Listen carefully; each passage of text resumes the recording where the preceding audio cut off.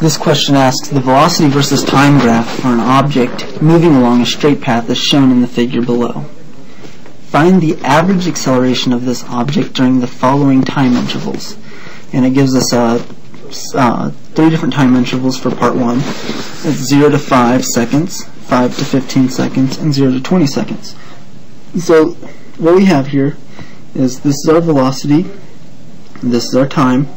So we know that uh, acceleration equals the change in velocity over the change in time.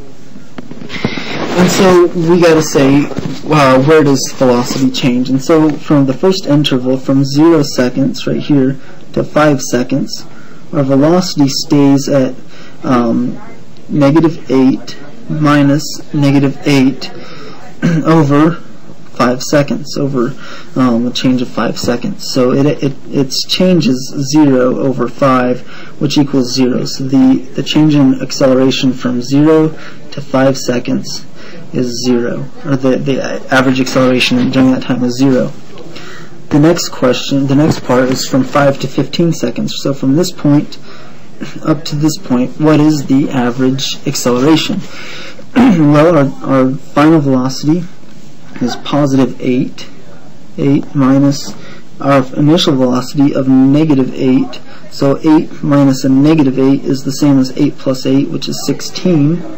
And the change in time is 10 seconds. So 16 over 10 equals 1.6 meters per second squared. That's the average acceleration during that time period. The next uh, one says from 0 seconds to 20 seconds, what is the average acceleration?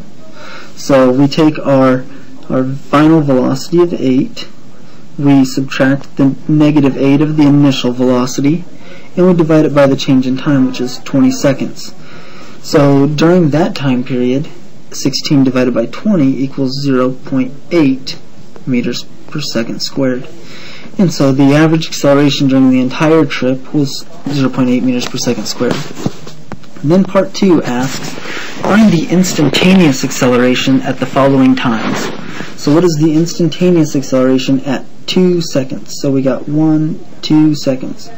Instantaneous acceleration right here.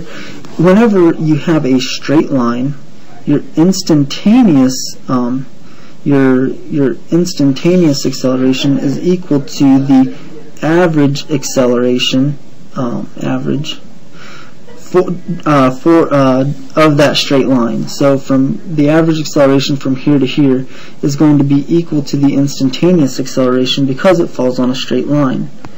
So what is the instantaneous acceleration? It was zero. The change in velocity is zero, so it's going to be zero. Then it says for 10 seconds. So what is the instantaneous acceleration at 10 seconds?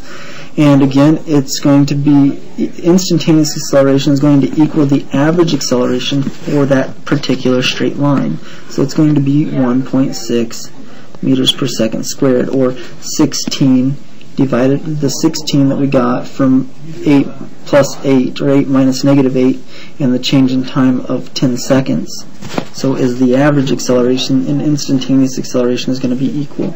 And the last question on part 2 is what is the instantaneous acceleration for 18 seconds? So we got 16, 17, 18, this point right here and of course it's going to fall on this line. The line is flat, so the acceleration is going to be zero because the change in velocity is zero. And so that is the answers. It's uh, the answers are 0, 1.6, 0.8, 0, 1.6, and 0, respectively.